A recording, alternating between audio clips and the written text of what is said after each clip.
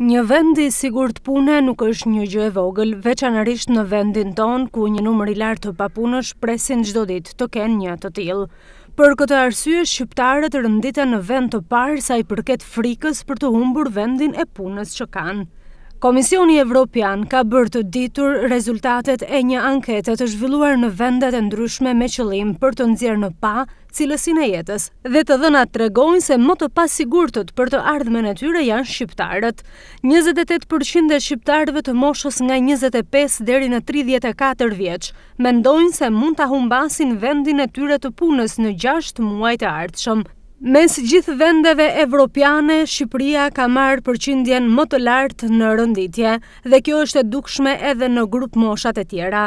Ndër vendet anëtare të Bashkimit Evropian, Gjermania dhe Malta janë shtetet me përqindjen më të ulët të të anketuarve, të cilët kanë thënë se kanë gjasa që të humbasin vendin e punës.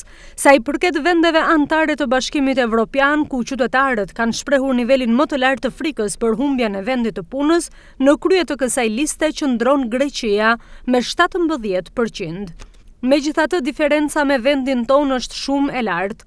Pasiguria ekonomike në vend, fakti se kushtet detyrojnë shumë biznese të falimentojnë e të mbyllen krejt papritur, bën që të punësuarit të mos ndjehen të sigurt. Kjo pasiguri, përveçse tek të rinjtë, vërehet edhe tek grupmoshat më të mëdha. Pavarësisht viteve të gjata në punë apo eksperiencës që kanë fituar, edhe tek të punësuarit mbi pesëdhjetë vjeç, Mbizotëron frika e humbjes së vendit të punës.